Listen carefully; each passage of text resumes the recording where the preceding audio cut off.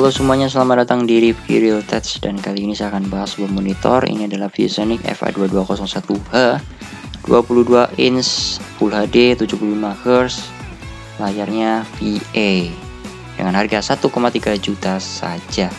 Ini monitor dulunya itu biasa aja, tapi setelah direview sama GTID jadi laris manis seperti ini. Dan saya beli sebenarnya sebelum GTID nge-review, saya itu sebenarnya udah beli gitu loh dan kenapa saya malah nggak review cepet-cepet gitu loh malah kita ID duluan. Nggak apa-apa lah daripada nggak bikin sama sekali ya kita bikin lah ya. Karena saya udah pakai ini sekitar satu bulan jadi saya mungkin ya ngerasain uh, bagusnya apa jeleknya apa. Menurut saya mungkin saya sedikit ngerti lah oke? Okay? uh, saya tidak akan bahas detail gitu ya seperti spesifikasinya seperti apa kualitas layarnya RGB color gamut. Itu semua sudah dibahas di videonya GTID jadi tonton aja video itu kalau kalian pengen melihat teknisnya lebih banyak tonton itu ya. Tapi di sini saya akan review uh, apa ya sesuai dengan pengalaman saya aja apa yang saya rasain gitu loh. Oke okay? kita akan bahas speknya dikit. Dia itu pakai layar VA FA gitu ya. Dan ini adalah uh, upgrade yang sudah jauh lebih baik daripada kalian pakai layar TN. Nanti akan saya kasih tahu kenapa alasannya. Oke, jadi ini salah satu perbedaan layar VA sama layar TN. Jadi layar TN di laptop saya itu biru banget, bener-bener biru banget nih bisa di, diperhatiin itu. Perhatiin deh, tuh. Dia di bagian bawahnya itu jelas banget birunya tuh biru banget.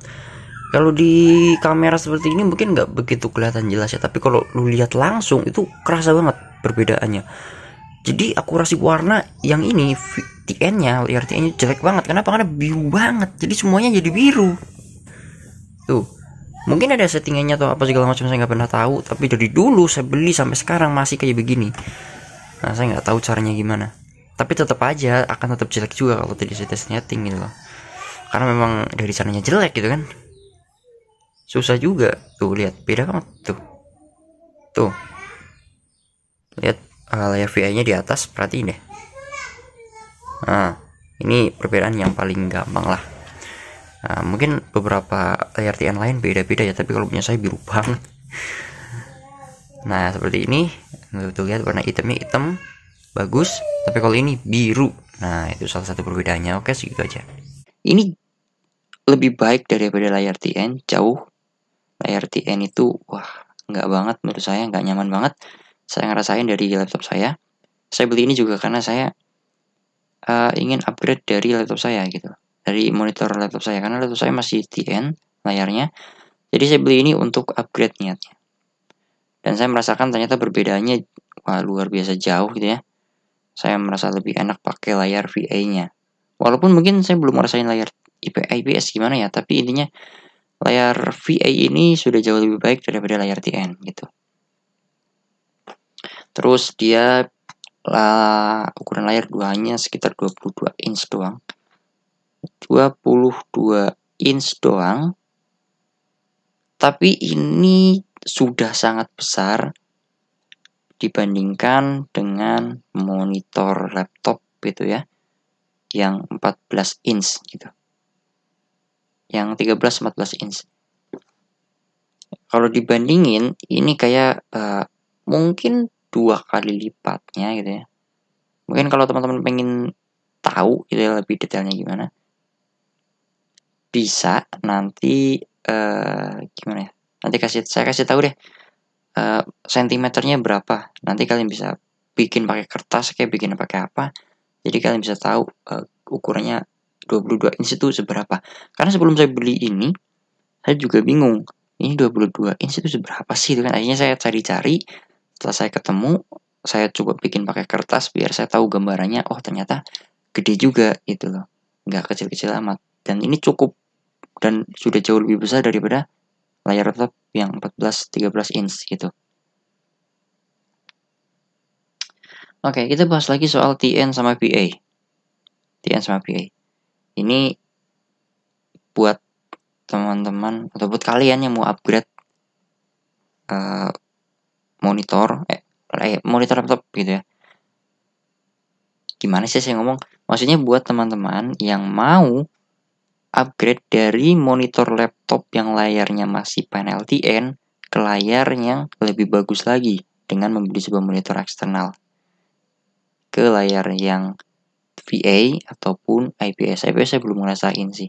Tapi VA ini saya akan uh, sedikit jelasin.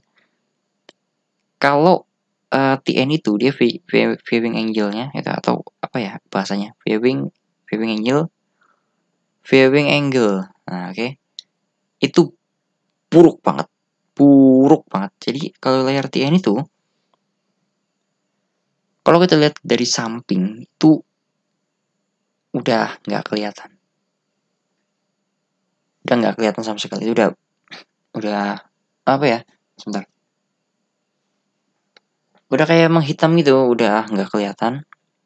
Nggak enak lah sebenarnya dari viewing angle-nya buruk banget dan dari akurasi warna itu juga buruk. Buruk sekali layar TN. Warna itu buruk. Nggak akurat kalau layar TN itu jelek sih. Ini alasan kenapa layar TN di laptop itu uh, sangat tidak disarankan untuk ngedesain. Nah, tapi bukannya tidak bisa ya, tetap bisa aja. Nah, Terus gimana kalau dibandingkan dengan layar VI? Layar VI itu warnanya sudah jauh lebih bagus daripada layar TN, jauh lebih bagus. Uh, viewing angle-nya juga jauh lebih bagus daripada VA, eh daripada TN. Terus kontrasnya adalah yang terbaik. Jadi layar T, layar VI itu kontrasnya paling bagus. Jadi kalau di warna hitam dia tuh paling pekat ya. Ini saya dengar dari Bang GTID ya warna hitam itu dia hitam banget gitu. Dan dia itu kecerahannya itu bisa uh, bawah banget. Apa ya bahasanya? Saya kurang tahu bahasanya tapi intinya adalah mungkin kontrasnya bisa diturunin banget gitu ya atau kecerahannya itu bisa turun banget sehingga kalau dipakai di tempat yang gelap itu masih nyaman. Nah, kayak saya itu saya cuma pakai satu lampu kecil gitu ya softbox doang di, satu kamar uh, semua lampu mati itu masih enak. Nggak keterangan bener-bener enak buat mata. Jadi nggak terlalu terang kan mata jadi nggak nggak cepet capek gitu kan. Dan layar VI ini di tengah-tengah jadi benar-benar di tengah-tengah. Kan ada tiga layar ya ada TN ada VI ada IPS jadi TN itu di tengah-tengah. Nah, memang IPS itu jauh lebih bagus daripada VI tapi VI jauh lebih bagus lagi daripada TN gitu. Jadi kalau untuk upgrade dari layar TN ini udah cukup bagus lah. Jadi ini alasan kenapa saya beli gitu kan. Lah nggak apa-apa lah layar VI gitu kan.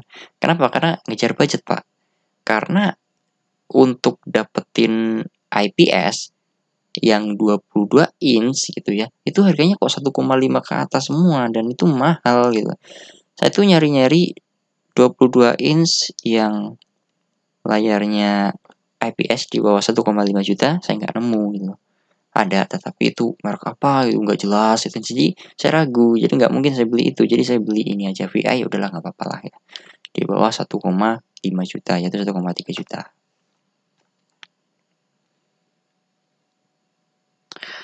uh, sebenarnya ada beberapa monitor yang menjadi saingannya si ViewSonic ini. Sebentar. Monitor itu adalah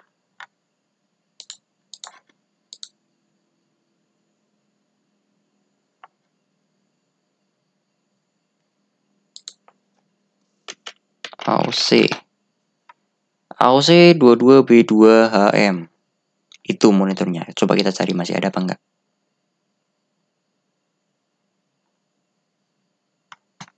kayaknya harus semuanya deh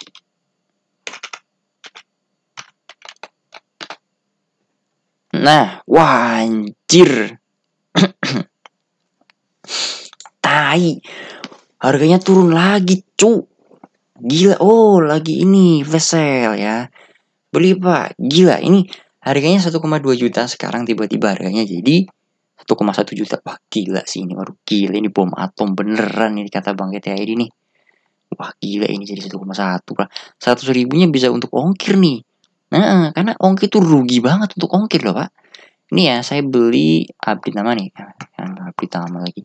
1,3 juta. Ya. Jadi loh mana totalnya? Oh, di bawah. 1,4 juta gara-gara apa? Ongkirnya 60 ribu gitu ya. Ditambah.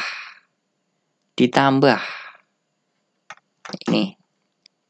Packaging kayunya jadi 70 ribu.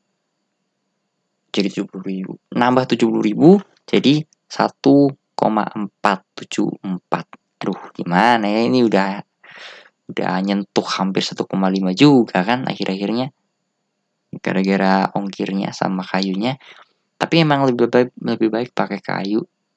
Sih lebih baik pakai apa? Uh. Lebih baik pakai kayu karena jelas untuk keamanan itu keamanan itu ya. Lebih baik nambah dikit gitu ya 70 ribu lah ya.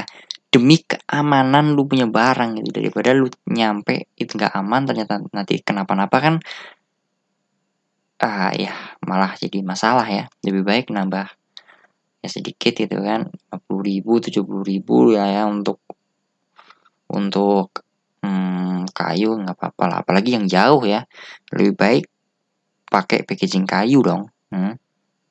tapi kita balik lagi bahas si monitor ini AOC ini wah gila ini lebih murah lagi. Tapi ada sedikit masalah sama monitor ini. Yang pertama adalah garansinya. Seperti yang sudah dikatakan sama Bang GTID, ini garansinya itu full 3 tahun panel. Tapi ini cuman kalau nggak salah itu cuman 2 tahun panel kalau nggak salah. lebih baik ini dong dapat garansi yang lebih lama gitu. Nambah dikit garansi lebih uh, banyak jadi lebih aman gitu. Kalau kenapa-napa. Tiga tahun itu lama loh lama banget itu gitu. Tapi secara panel gitu ya, tapi ini sama-sama panel VA sih standar aja. Sebenarnya aduh sebenarnya monitor-monitor begini nih ini enggak apa ya nggak perlu kita tanya-tanyain wah color gambutnya berapa? sRGB apa segala macam karena ini monitor ngejar budget banget pak. Monitor yang memang ngejar murah gitu loh murah-murahin jadi ya speknya kayak apa paling standar-standar aja gitu. Loh nggak perlu berharap yang wah banget. Nggak bisa sih.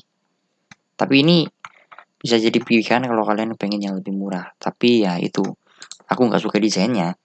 Ini desainnya tuh jauh lebih bagus dan bisa dilihat di sini bracketnya ya bracketnya malah portnya madep ke bawah. Jadi ketika portnya madep ke bawah ini ketika lu pakai bracket ini akan jauh lebih bagus. Lebih enak. Jadi ketika ditempel ke tembok dia nggak mentok. Eh nggak mentok. Maksudnya jadi mentok ke temboknya gitu ya.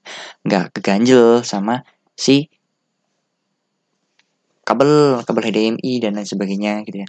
Gak akan ganggu. Jadi madep ke bawah. Tapi kalau ini dia madepnya mana? Bawahnya. Madepnya ke depan seperti ini ya kan? Dan desainnya kelihatan murah banget. Di desainnya tuh murah banget tuh. Aku tuh nggak suka banget melihat kakinya tuh kayak gitu tuh. Kakinya dilihat nih. Kayak begini nih aku nggak suka gitu. Dan dan aku suka banget dengan uh, ini. Si kakinya yang bentuknya kayak gini dan desainnya tuh keren. Tuh depannya tuh keren tuh ini ralat sedikit ya. Ternyata ini tuh garansi panelnya cuma satu tahun. Wah gila sih kalau cuma satu tahun garansi panel ya kan? Lebih baik ini ya kan? Nambah dikit dapat garansi panel full 3 tahun gitu. Ini alasan kenapa saya beli ini gitu. Dan laris manis ini gara-gara di review sama Bang GTID gitu loh. Gitu ya. Dan ada lagi yang nggak penting sebenarnya. Sebenarnya nggak penting. Nanti kita kasih tunjuk lah. Jadi monitor ini tuh di depannya. Oh aku nggak bisa ya. Gimana caranya nih? Di depannya ini ya. Nah ini ini ini ada ada cahayanya. Kayak uh, lampu indikator gitu kalau monitornya lagi hidup. Dan entah kenapa saya sangat terganggu dengan cahaya di bagian sini. Warnanya biru kalau nggak salah. Terganggu sekali dengan lampu indikator yang nyala terus di sini. Mungkin kebiasaan orang ya kalau saya benar-benar terganggu banget. Karena saya terganggu ini saya tutupin pakai kayak sebuah apa ya eh uh, itu. Stiker ya saya tutupin pakai stiker biar lampunya nggak kelihatan. Entah kenapa terganggu banget saya dengan cahaya yang kayak begitu aduh jadi saya tutupin itu uh, untuk beberapa orang nggak ada masalah sih ya kan tapi untuk saya malah jadi masalah hmm. oke itu aja ini saya ngomong langsung nggak ada skrip nih. Apa ya yang mau dibahas ya? Oh iya, ini deh. Ini monitor yang harganya di bawah 1,5 juta. Nah, saya nyari-nyari monitor 22 inch di bawah 1,5 juta yang IPS gitu ya. Ternyata nggak nemu. Ada mereknya tapi nggak jelas. Merek apa ya dulu ya? Dahua kalau nggak salah. Itu aku ragu banget ini merek apa nggak jelas ya kan jadi ragu jadi lebih baik adalah 1,3 1,1 uh, satu atau ini ya kan dapat layar VA nggak apa-apa lah lagian perbedaan layar VA dan IPS ya yang nggak jauh beda lah ya uh, yang jauh beda itu kalau dibandingin sama TN kalau sama TN tuh jauh banget itu jangan deh pakai TN pakai aja IPS atau VA tapi kalau aku pengen akurasi warnanya lebih bagus jelas pakainya IPS. Tapi VA ini di tengah-tengah. Paling bawah TN, paling atas IPS, paling di tengah-tengah ini VA gitu. Jadi udah cukup bagus lah daripada pakai layar TN ya kan? Nggak enak dilihat mata. Nah. ini dia Visionik desainnya bagus banget.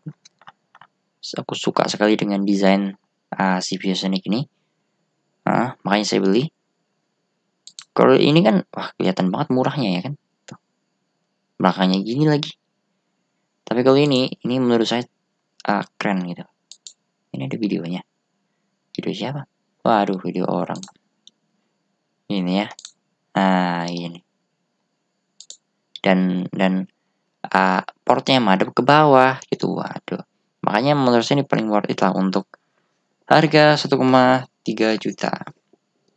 Untuk layar VA saya nyariin IPS di harga 1,3 juta 1, di bawah 1,5 gak nemu pak. Rata-rata rata-rata tuh 1,7 ya kan? 1,7 1,6 namanya nggak ada deh. 1,7 1,8 1,9 dapat IPS 22 inch. Aduh nanggung banget gitu loh. Kalau 1,7 ya kan? 1,8 1,9 22 inch itu saya masih eman-eman. Lebih baik naik ke 24 inch sekalian sih. Menurut saya ya kan? Jadi saking larisnya ini monitor aku nggak tahu ini laris banget apa enggak sih tapi habis ini terjual 100 plus.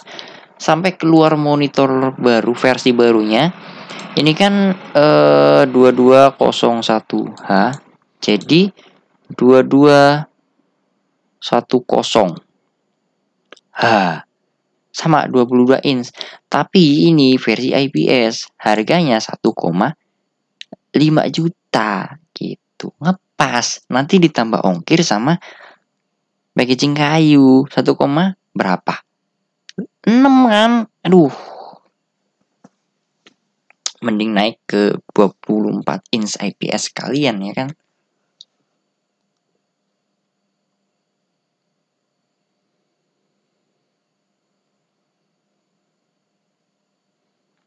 Oke gitu ya. Nah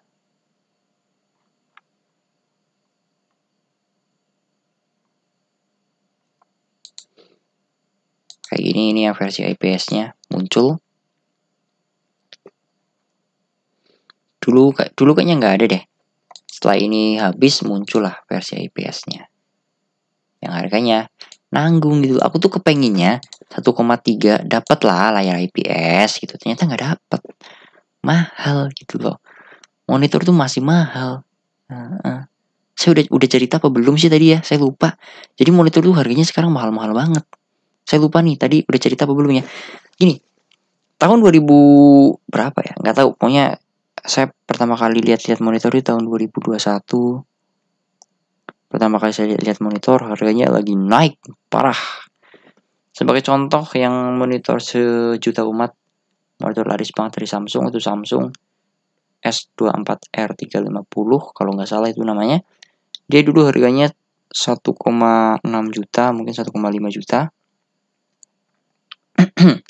tiba-tiba naik jadi 2 jutaan. Waduh. Naik tinggi sekali ya kan. Waduh. Bahkan sempat 1,3 jutaan. Waduh monitor itu mahal banget waktu itu pak. Saya mau beli monitor, waduh nggak bisa nih. Lebih baik menunggu harganya turun. Hmm. Dan sekarang memang sudah mulai turun. Tetapi nggak nggak signifikan gitu cuman dikit-dikit aja gitu nggak nggak bener-bener drop gitu loh. Nggak kayak di Cina gitu loh yang diceritain sama Bang ID monitor masih mahal banget di Indonesia gitu loh. Makanya monitor-monitor ini nih disebut uh, bom atom kayak ini bom atom HOC sama Bang ID ya. Ini Office Sonic karena harganya ini turun juga sebenarnya ini 1,3 itu turun juga Tadi harga berapa gitu loh, saya lupa.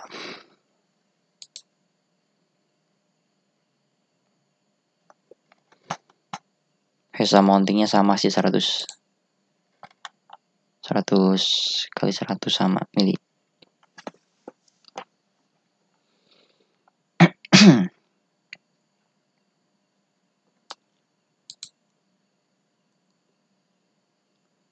Oke, mungkin itu aja sih ih gila sih saya ngomongin monitor doang kok sampai sampai 21 menit.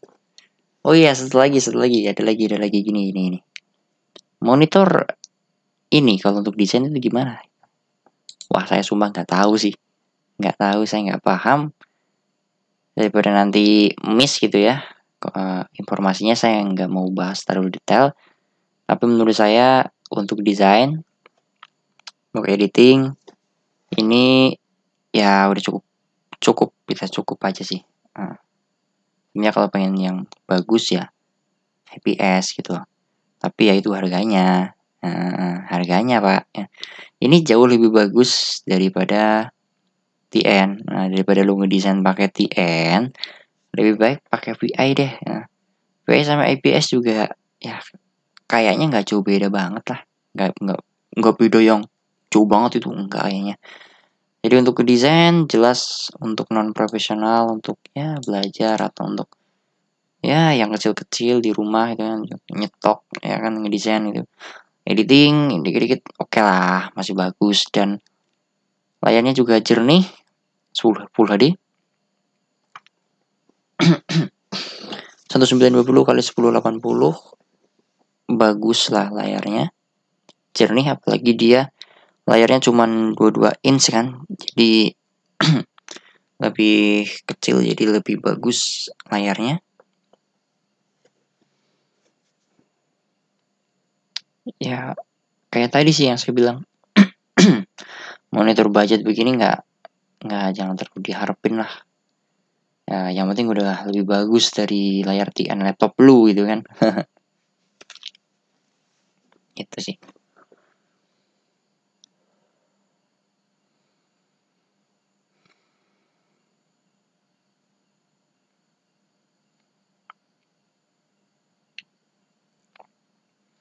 mungkin nanti tinggal birol-birol aja ini.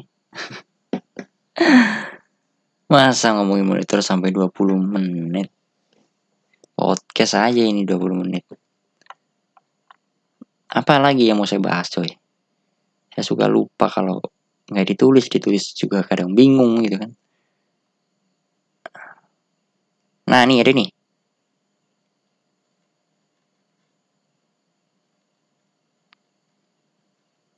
tuh kan. Uh, panel VA gelapnya memang gede banget. Nah jadi memang seperti yang saya katakan panel VA itu emang hitamnya tuh hitam banget jadi enak gitu loh. Apalagi saya suka itu ya suka saya kan suka desain icon ya. Icon itu lebih sering pakai line atau warna hitam. Garis outline biasanya warna hitam.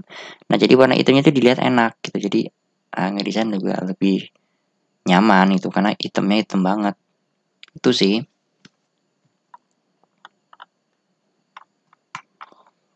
Oke, mungkin segitu aja yang bisa saya sampaikan.